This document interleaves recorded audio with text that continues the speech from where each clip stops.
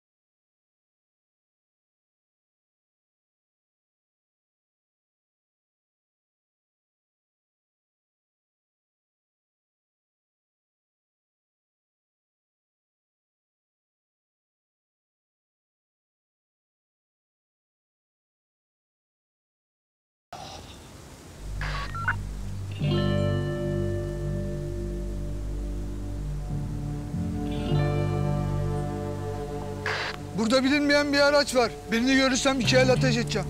Oraya doğru geliyoruz.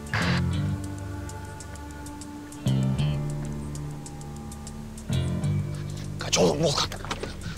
Ulan arabayı bıraktığımızda kalmasın bizimkiler.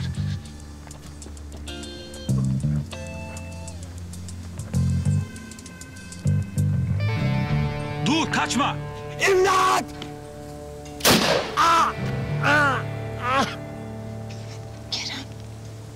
Kerem biri bağırdı birine vurdular duydun mu Kerem? Duydum duydum. Baba ne, ne biçim işlere bulaştın? Silahlar, adamlar, kadınlar, atlar. Hadi hadi hadi. Kan gelmiş.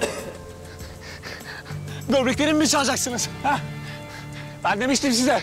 Ben demiştim patlayacak diye o tüfek. Ya Kerem korkuyorum ya. Tamam sakin. Nasıl sakin be korkuyorum Kerem ya. Bir şey olmaz söz. Ben yanındayım. Biri geliyor, biri geliyor.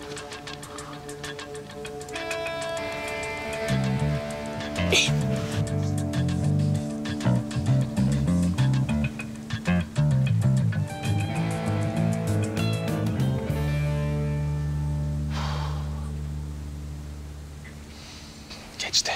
Hadi gel. Ben yanındayım. Hiçbir şey olmayacak tamam mı? Merak etme.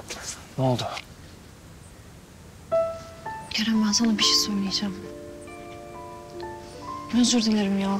Bak vallahi özür dilerim ya. Ben senin bu kadar bozulacağını bilseydim yapmazdım ya. Bu kadar önemsediğini bilmiyordum ben bu durumu.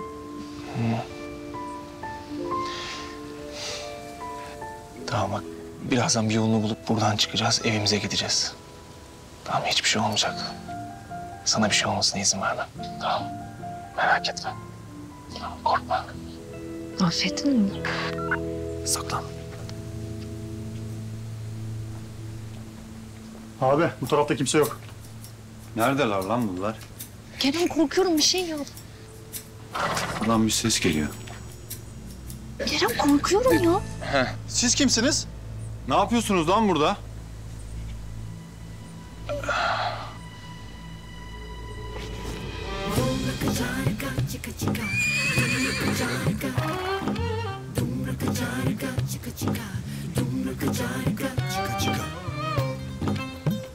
Birader ne yapıyorsunuz dedim burada. Kerem hakikaten sen ne yapıyorsun ya? Biz ziyaretçiyiz. Harınızı ziyarete geldik. Eşimi öpüyorum. Öpüşmek suç mu? Başınız büyük belada birader. Siz bunları tutun. Ben haber verip geliyorum. Kerem bunlar bir şey yapmasın. Yemin ediyorum bu sefer ben öldüreceğim seni. Sen de bir şey yap bir şey yap diyordun. Ne yapayım? Filmlerde oluyor ya böyle kötü adamların önünde çiftler öpüşüyor. Onlar görmezden geliyor.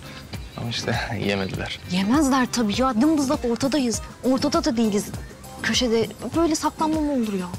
Hadi bırakın muhabbet hadi gidiyoruz.